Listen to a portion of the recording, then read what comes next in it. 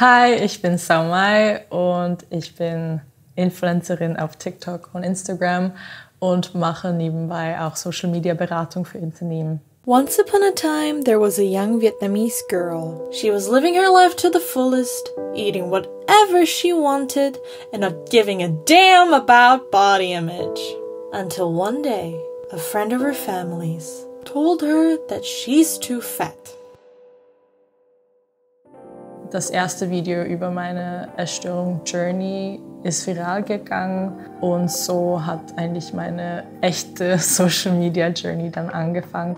Über YouTube haben viele Leute mich dann auf Instagram gefolgt, weil es so ein sensitives Topic war und die waren wirklich unterstützend. Im Lockdown habe ich versucht, TikToks auch zu machen, aber das war eher aus meiner Marketing dann Perspektive, weil ich neugierig war, wie sich das von den anderen Social Media Plattformen unterscheidet. And of course I'm starting my day today with a big ass yogurt bowl. Also Growth Hacking ist eher eine Marketing-Taktik für Startups, wo das rapide Wachstum des Unternehmens als Ziel ist. Bei der Personal Brand sollte man darauf achten, dass man diese eine richtige Message dann verfolgt in allen unterschiedlichen Kommunikationskanälen. Ich glaube, der erste wichtigste Tipp ist, um zu schauen, welche Message und welche Values du kommunizieren willst. Also was ist eigentlich der Wert, den du der Welt geben möchtest. Inspirierst du sie, unterhaltst du sie, also bringst du sie zum Lachen, was machst du eigentlich? Mein zweiter Tipp ist, schau mal, welchen Content-Format du machen willst. Du sollst am Anfang ein bisschen experimentieren, um zu schauen, was eigentlich gut performt oder was nicht gut performt. Du musst immer noch bedenken, dass ja, dass du dich happy machen möchtest, aber dass auf der anderen Seite auch deine Zuschauer und deine Community da steht.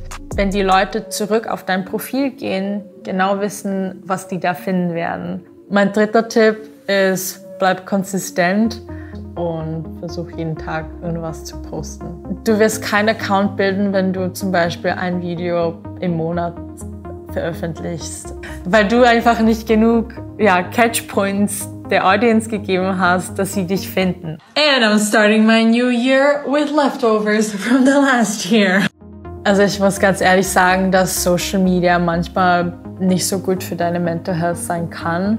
Also für mich war der größte Problem jetzt, dass ich so ein Pressure gefühlt habe, dass ich jeden Tag mein Leben, persönliches Leben sharen muss. Aber das musst du nicht machen. Wenn du schaffst, eine wirklich enge Beziehung mit deiner Audience zu bilden, werden die dich verstehen, wenn du einen Break oder sowas brauchst. Es wird definitiv so kommen, dass du auch hateful Comments oder negative Kommentare oder Nachrichten bekommst. Aber du musst immer im Kopf äh, haben, dass du nicht jeden happy machen wirst. Am wichtigsten ist, dass du dich happy machst und die Leute, die dich in deinen Ups und auch deinen Downs unterstützen, weil das wirklich die echten Supporters sind.